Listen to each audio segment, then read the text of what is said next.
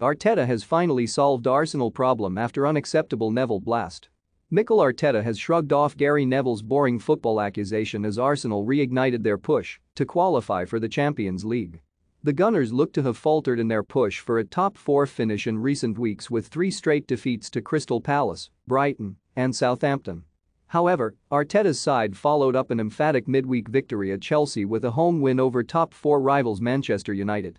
Eddie Nketiah struck twice as Arsenal edged a six-goal thriller at Stamford Bridge, and a late thunderbolt from Granit Xhaka sealed a 3-1 victory over the Red Devils. The back-to-back successes has left Arteta's side in pole position for the final Champions League spot with five matches remaining. The former Arsenal captain was subject to heavy criticism earlier this season after an early 5-0 hammering at Manchester City marked the club's worst start to a season for 67 years. The Gunners made a poor start to last season and Gary Neville took aim at their boring style of football in December 2020. He previously said on the Gary Neville podcast. The Mikel Arteta team looks more rigid, more solid but it's a bit boring, and they've got to get that out. You can't bore.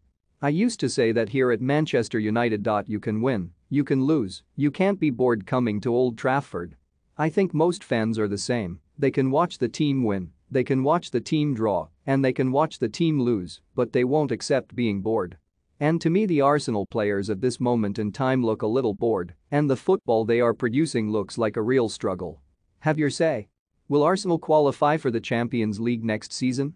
Comment below. However, the boring tag is one Arteta seems to have dismantled after four days which has revitalized a season in danger of petering out.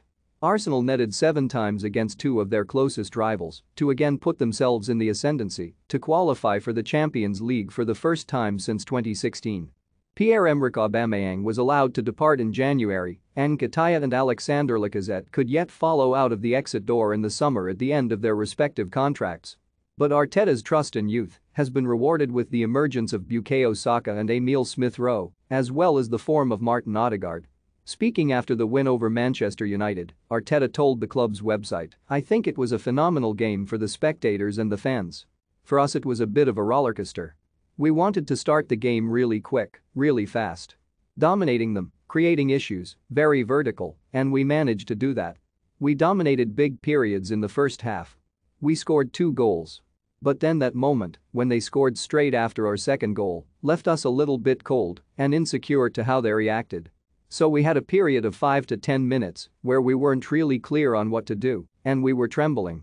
At the start of the second half, again we had some problems to occupy some spaces that they are really good at and they have so much quality to exploit. Then when they missed their penalty and we made the change in shape and scored the goal, I think that's where we won it.